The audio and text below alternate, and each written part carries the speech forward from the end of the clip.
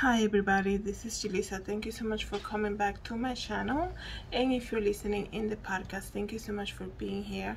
It is June 22nd 2022 I'm here to do a follow-up update on the submer missing uh, Titanic tourist submarine or they call it Titan that was missing since Sunday the 18th of June 2023 and this afternoon at 3 o'clock Eastern time this afternoon they gave an update and it's a sad news you know. I when I came here I did my previous video two days ago. I say let's keep the family in prayer and I think we should continue to do that. And I'm here to do an update because um you know the update from the Coast Guard was that they found the debris um you know yesterday they were saying they heard noises every half an hour and today you know they were they run out of oxygen i believe by one o'clock today. And at three o'clock today they confirmed that the uh, debris from the OceanGate vessel that was taking those five people um, was found near the ocean sea um, ground right uh, near the titanic. And they confirmed you know that that was the the vessel that was used and you know all of the people aboard of course were deceased. Um, we got we learned so much about this you know and please don't mind my background. As you can see i'm in my home as i am making room once again for julissa designs. And you can see my dress form back there um, if you're watching this on youtube. But speaking about this story you know it is so um so sad right? And there's so many things that we learn from a story like this right? Um but before i tell you my my thoughts where my thoughts are on this let me just read to you guys a little bit of this article right? Um, with the official story that came out right? It says here the five people aboard the submersible that has been missing for days were killed when the small vessel carrying them to the titanic wreckage site has has been a catastrophic implosion. The Coast Guard said Thursday afternoon, like I said, at 3 o'clock today, I was watching the live conference, um, press conference live from the Coast Guard, and it was very brief. You know, these people, they're not gonna, you know, it's already hard on them, right? Um, because there's, you know, this vessel that was created to go down to the Titanic, 12,000 feet um, on, under on, under the sea, right? Um, it has not really been like officially approved. And you know there's a lot of waivers that they had to sign just to get on it. And besides all of that the high ticket price of $250,000 so you know the coast guard was very limited on what they say. They explain what they found and what they believe the the end was for these five people. And then they were they took like two questions and then they went off. Um, they were not receiving any more questions nothing like that. So let me see um, a little bit i'm going to tell you a little bit what the coast guard said earlier today. The debris is consistent with the catastrophic implosion of the vessel um, the Rear Admiral John Mauger, commander of the 1st Coast Guard District, said in the news conference, the debris that was found 16, um, 1600 feet from the Titanic, but about on the seafloor, was too early to tell when the Titan imploded. The Coast Guard will continue investigating with remotely operated vehicles or ROVs okay? I think you know it's sad that these people to that were in that vessel right the five of them right? Um probably thought this was going to be a one in a lifetime opportunity. They have the money they can afford it right? And you know, I just heard somebody say, you know, they actually paid $250,000 to die, right? Um, and aside from all the theories and the so many things that we can think about, right? About conspiracy theories, the theory and like how is this is so impossible that people are going to be sitting in such a small space um, without being able to move for eight hours to go see something on a screen right that already had been people that tried to do that already had issues with it, right?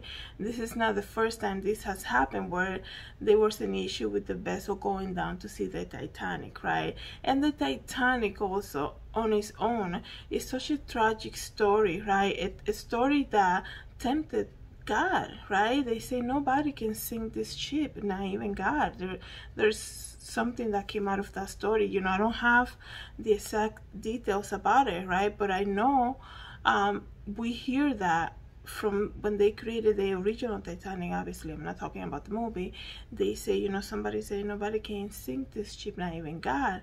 And it's a temptation, you know, they're tempting the Lord, right? And your your fanatism to and your passion to goes beyond that, right? This is why, you know, when I speak about um, following celebrities and all of that, we have to be so careful how um, this world makes you um, kind of like convert fanatism into passion and then eventually it leads you to idol worship right? Um you know you can see a tv show in you see a TV show, let's just say, right? And you fall in love with one of the characters and you follow them on social media and then you buy their posters and you know, you eat what they eat, you, you know, you go, you want to go to the places where they go and that all of that leads you to worship. And what do we see now, right? Um, we see people being fantasized with movies, right? They get fantasized with TV shows, right? You know, they want to go see where this is filmed. They want to go see um, where this movie has been filmed you know they make the lines in the theaters days before the movie is released. All of this idol worship is it's almost like you know we're so invested into this fictional story. And i understand the titanic's a real thing but i'm, I'm speaking about other stuff um and they're like so into it right? So much so that, that this passion can take turn into idol worshiping and they have a dream to one day you know just be in the actual thing right? There's so much footage on the internet of the titanic. There are museums exhibitions right? There we have the movie that's like three hours long. There's so much on the titanic and it's such a tragic story right? Um and to which is on right people can do. If they have the money people you do what you know you do what you want right? We have free will in this life right? You just you answer to god at the end of your life. Um but i'm just saying like you know you sometimes you think about the survivors of the titanic right? And the people that perish in the titanic and they're probably you know in that moment they probably thought what did they thought about their life, right? In that moment when they saw this whole thing, you know, a lot of the people that went to the Titanic actually used all their life savings to get on that ship, to go find a better life. And all the dreams were broken into a ship at the end of the day that is not even you know your safety is not found on things made by men right so you think about this this obsession that people have with Titanic. You know, in its time when the movie came out, uh, I think I was in high school or something like that. Yes, at one point, you know, that was that's all people talked about, right? Um, but I'm saying like this obsession to be in the Titanic, even though the Titanic was taken down immediately on its first trip, right? And this desire to go and be there even though like it's almost like everything that has been put out about the titanic was not sufficient. So if i have the money to go i'm gonna go right? I'm gonna risk my life to go to see that right through a computer screen um or get myself into a vessel that's not even 100% safe right? And what i was saying on my previous video my previous episode about this whole thing is like to me it didn't seem like millionaires people who can make money like that they don't make decisions like this. It just doesn't make sense to me. Like still i understand the the outcome of this right? They all perished right? That, that's what the coast guard just said. That's what i just read to you. But it's almost like i don't understand really. Like really they really make the decision a, a father and a son together paying half a million dollars to get into this vessel.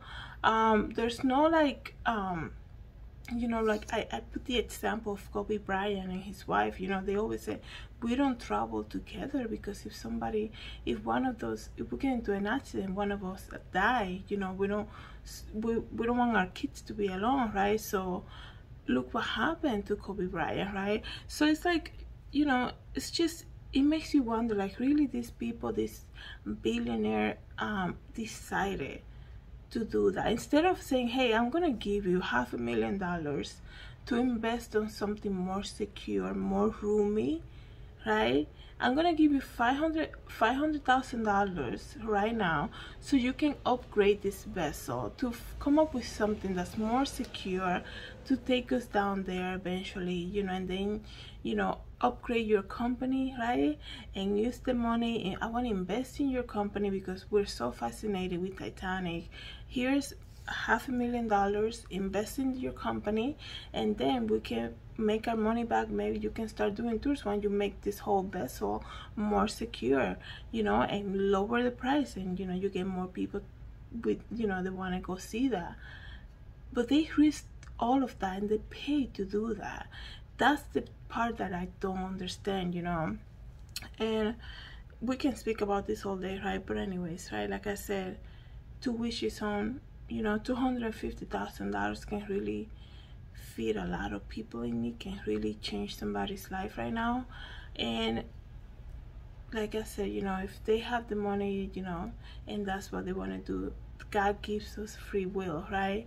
Um, and then there's something else that's happening in the world with this whole story about the Titanic submersible is that people have no respect these days for life anymore. Like this is another example that we are living in the last days. I go on twitter to get you know i've been going on twitter to get updates about the whole story yesterday the day before and all of that. And i Titanic has been trending on Twitter since this whole thing started, right, uh, on Sunday. And it's like to go on Twitter, to go on TikTok and see so many memes, so many jokes, so many reels jokingly about this whole thing.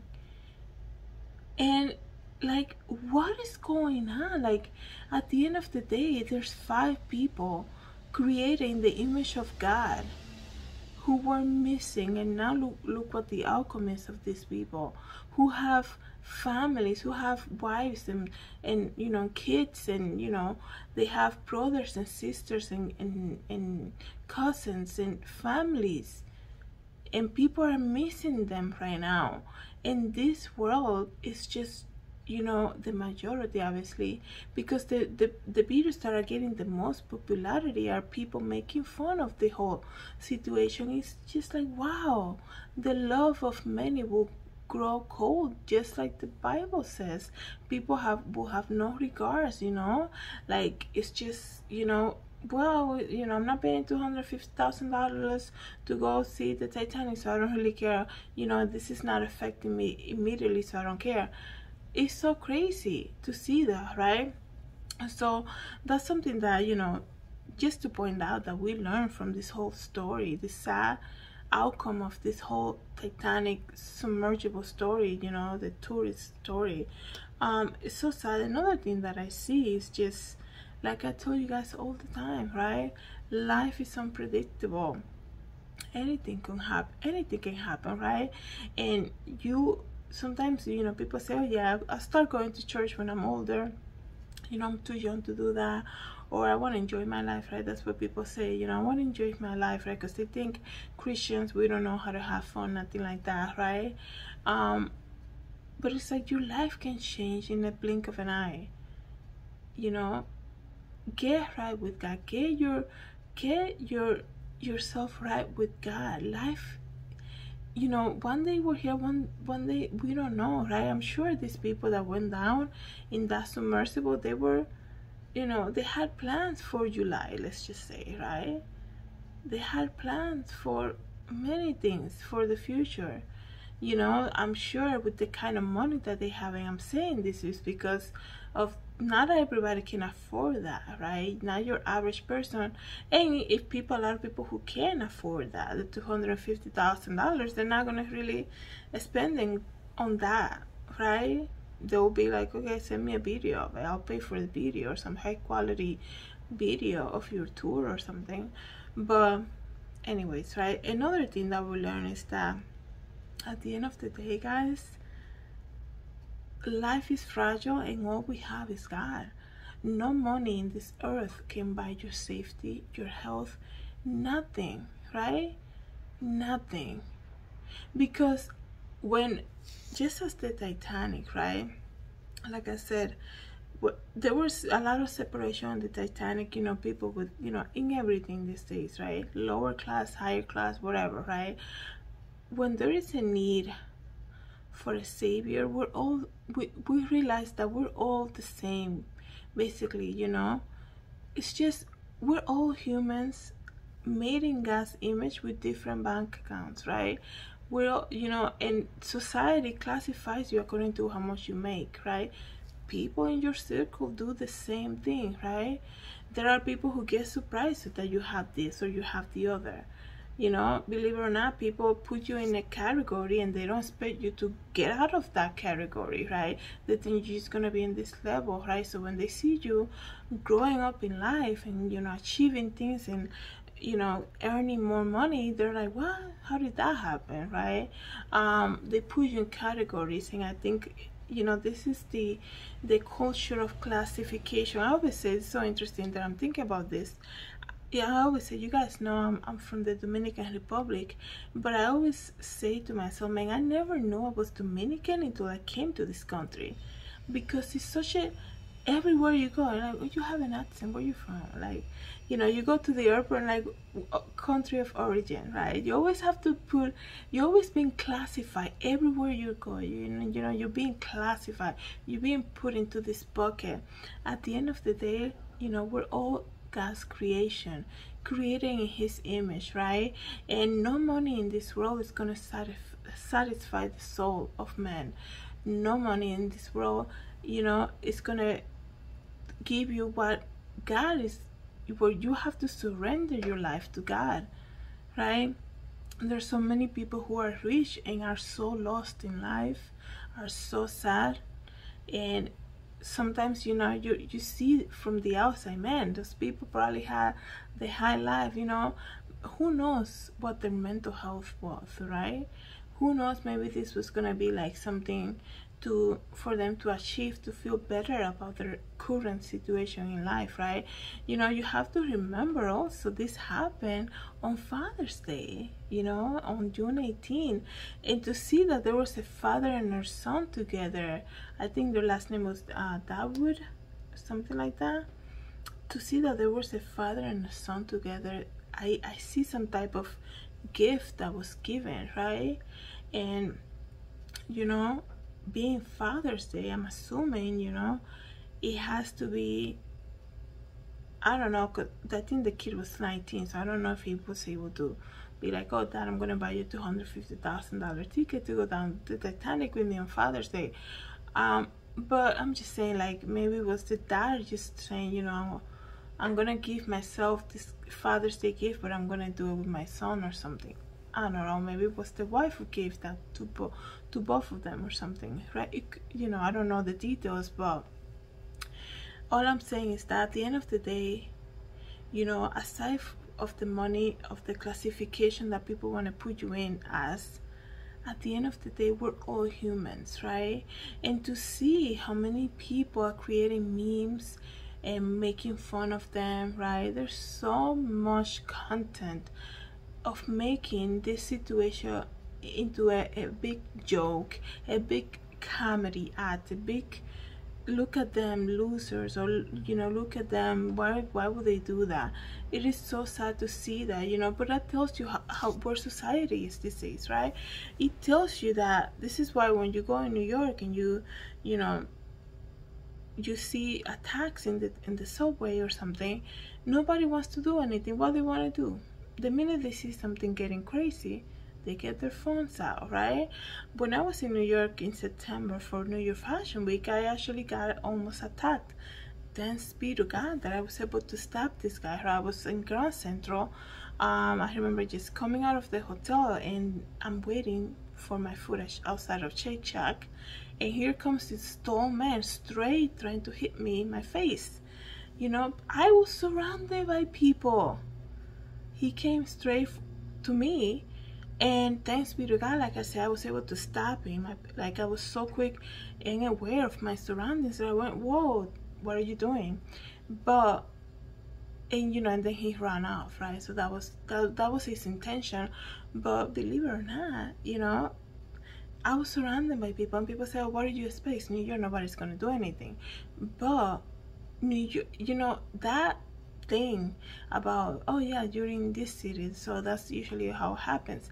It's been happening everywhere these days. People don't want to help anymore. They just want to get their phones out so they can record you in your moment of need right? Instead of creating like prayer change about this whole situation people were out there on the internet making fun of them right? And blaming like blaming the stepson of one of the billionaires that was in there saying that he went to a blink 182 concert. Like come on you know? Everybody's dealing with something right? So and people get their anxiety one way or the other right? Like for me you know people say oh go for a walk. Not everybody wants to go for a walk when they feel anxious right? Not everyone wants to just you know um sit you know i tend to just you know listen to music or especially worship music right? Or i like to i gotta go around drive somewhere around you know and find my spot i go to this place i see the water and just just seeing the water and, and going to near the lake i'm like it's so beautiful. And it's almost a reminder how you know that god is in control. Look how big this lake is you know and how everything you know the sun and everything and the trees and all of that. Um, or you know I'll, I'll pray you know, pray about it or something like that. But everybody's different. So if this stepson to get this type of stress out he's gonna go to a concert. That doesn't mean he wished the worst for his family. That doesn't mean you know that he was just you know i just i'm gonna go celebrate because now i'm gonna be rich by inheritance or something. Nothing like that. You know the pure thinks about pure things and the evil things about evil things. You know there's something about similar to what i just said in the bible you know? Um for the pure everything is pure right? For the evil everything is evil. It's just that sometimes you have to give people the benefit of the doubt right? Not everything is as you see it. Okay you know people see you know like I, I can get into this because people assume a lot of stuff about me so i can really get into this subject about assumption and you know believing something that is not but always remember and give people the benefit of the doubt because when you're on that other side of situation because life life is like that life repeats itself right? Just because you're not going through something right now doesn't mean you're not going to experience it later on in life. So give people the benefit of the doubt give people compassion grace understanding because you don't know like everybody's dealing with something right and don't jump to conclusions so fast. And don't put people into categories so fast right? It is sad news. You know i actually this afternoon around one o'clock when i when i heard you know that they have like 40 minutes of oxygen or something i was like man jesus. I pray for all of them. I pray for all of them. And you know god knows why things happen.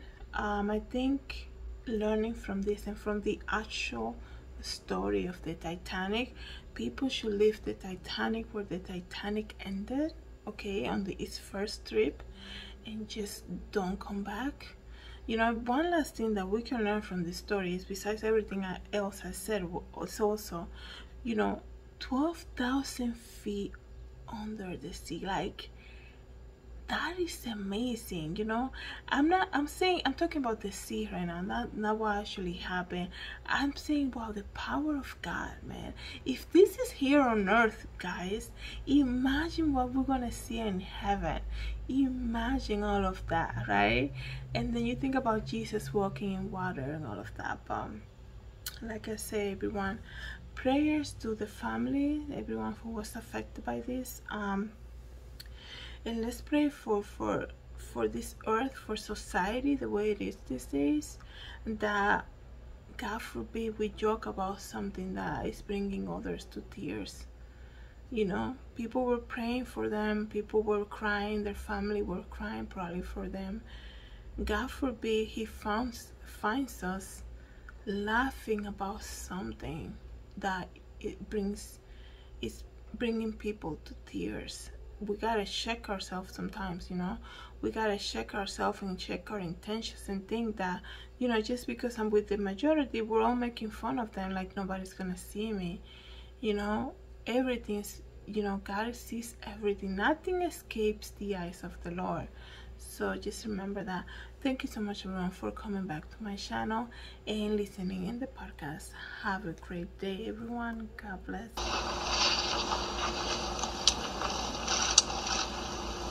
this morning an ROV or remote operated vehicle from the vessel Horizon Arctic discovered the tail cone of the Titan submersible approximately 1,600 feet from the bow of the Titanic on the seafloor. The ROV subsequently found additional debris. In consultation with experts from within the Unified Command, the debris is consistent with the catastrophic loss of the pressure chamber. Upon this determination, we immediately notified the families. On behalf of the United States Coast Guard and the entire Unified Command, I offer my deepest condolences to the families. I can only imagine what this has been like for them. And I hope that this discovery provides some solace during this difficult time.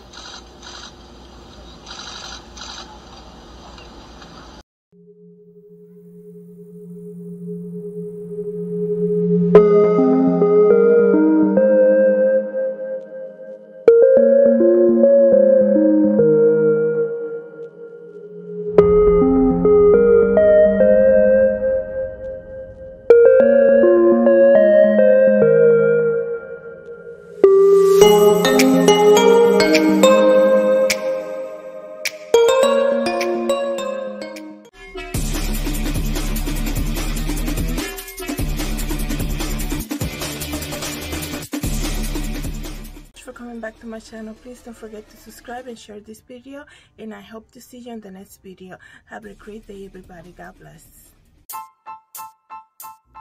Hi everybody, this is Julissa. I'm here to invite you to my podcast, Julissa Designs, and it can be found on Anchor, Apple Podcasts, and Spotify. You can join me every day as I make episodes of the latest news, real life stories, and I also share my favorite Bible verse. Hope to see you then. God bless.